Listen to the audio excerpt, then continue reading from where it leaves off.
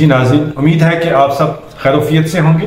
میں ہوں انجینئر محمد یوسف اور آپ سب دیکھ رہے ہیں مائننگ انسائٹ یوٹیوب چینل۔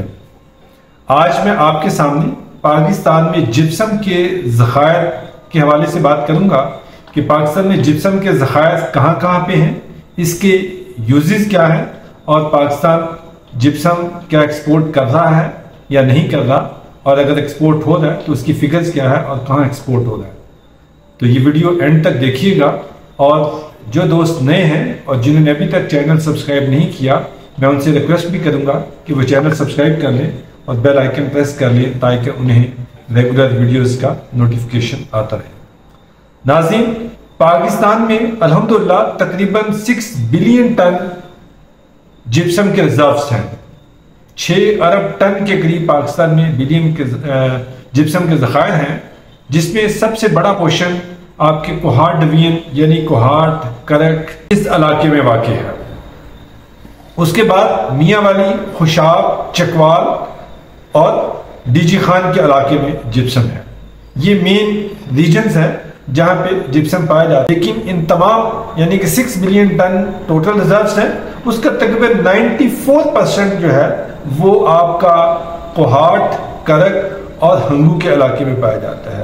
باقی سکس پرسنٹ جپسم میاں والی چکوال خوشاب اور ڈیرا غازی خان میں پایا جاتا ہے۔ بیسیکلی سالٹ رینج جہاں پر بھی آئے گی، اس کے ساتھ جپسم ہوگا۔ یہ قدرتی طور پر اللہ تعالیٰ نے سالٹ کے ساتھ جپسم کو ایز اے شیلڈ کے طور پر بنایا ہے اور یہ اس کے ریزروز ہیں۔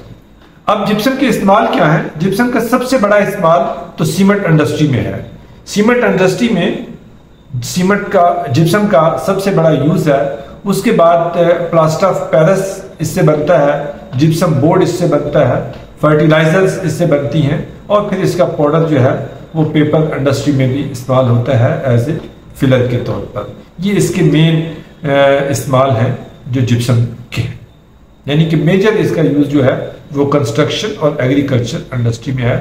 کنسٹرکشن سیمنٹ ہے پی او پی ہے، یہ جپسم بورڈ ہے، یہ کنسٹرکشن انڈسٹری میں آ جاتے ہیں۔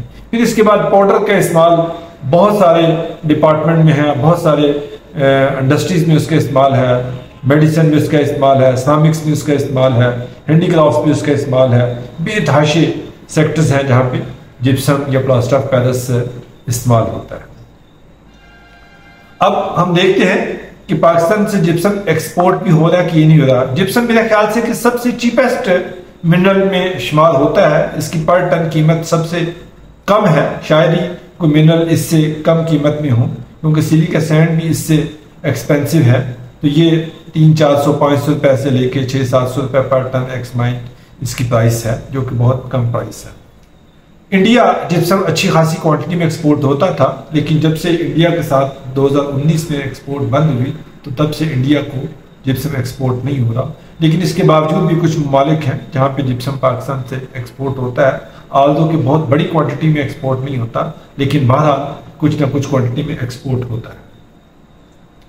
تو مئی دو ہزار چوبیس میں پاکستان سے ٹوٹل ایک ہزار بیاسی ٹن جپسم ایکسپورٹ ہوا۔ مئی دو ہزار چوبیس میں ایک ہزار بیاسی ٹن جپسم ایکسپورٹ ہوا اور یہ ٹوٹل جپسم جو ایکسپورٹ ہوا وہ سری لنکا گیا پاکستان سے۔ یعنی کہ ٹوٹل جو جپسم ہے، ایک ہزار بیاسی ٹن جو کہ تھرٹی نائن کنٹینرز بنتے ہیں، یہ سب کا سب سری لنکا گیا۔ اس کے علاوہ بھی ایک کنٹریز ہیں، لیکن اب مئی دو ہزار چوبیس میں تمام کا تمام جپسم سری لنکا ایکسپورٹ ہوا۔ اور اس کی مالیت کوئی اتنی زیادہ نہیں ہے، وہ thirteen point five million rupees کی بنتی ہے۔ اور اگر اس کو ڈالرز میں دیکھیں تو اڑتالیس ہزار تین سو تیرہ یو ایس ڈالر کی، یہ ایکسپورٹ ہے جپسم کی۔ لیکن اگر ہماری انڈیا کے ساتھ ٹریڈ سٹارٹ ہو جاتی ہے، جو کہ میرا ذاتی خیال یہ ہے کہ ٹھیک ہے، ہمارے ایک کا مسئلہ ہے، کشمیر کا مسئلہ ہے، وہ ہم ڈائلاگ کریں، اس کے اوپر بات چیت کریں۔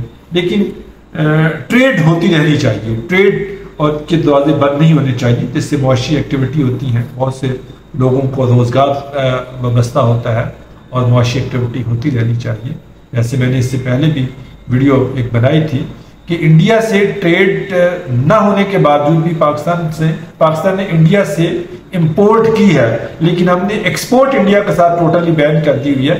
اگر ہم آج بھی انڈیا کے ساتھ اپنی ایکسپورٹ سٹارٹ کرتے، جو کہ ہماری ڈیفینیٹلی یہ جو ڈسیزن ہے، یہ گورنمنٹ نے کرنا ہے ہم صرف ایک ایڈوائز دے سکتے ہیں کہ ضرور گورنمنٹ کو اس کے اوپر نظر ثانی کرنی چاہیے۔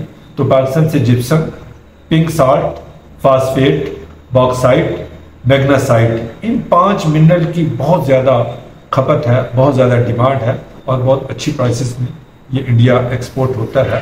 لیکن میں نے آپ کے سامنے ڈیٹا رکھا کہ مئی دو ہزار چوبیس میں پاکستان میں سے سری لنکا میں ایک ہزار بیاسی ٹن جپسم ایکسپورٹ ہوا۔ یہ میرے ایک دوست نے کل مجھ سے پوچھا تھا کہ کیا پاکستان سے جپسم ایکسپورٹ ہو رہا ہے کہ نہیں ہو رہا؟ تو یہ ویڈیو میں نے آپ کے نالج کے لیے بنائی۔ کہ الحمدللہ اس کے باوجود کہ اس کی پرائس بہت کم ہے اور پھر بھی انڈیا کو سوری، پاکستان سے جپسم کی کچھ کوانٹٹی ایکسپورٹ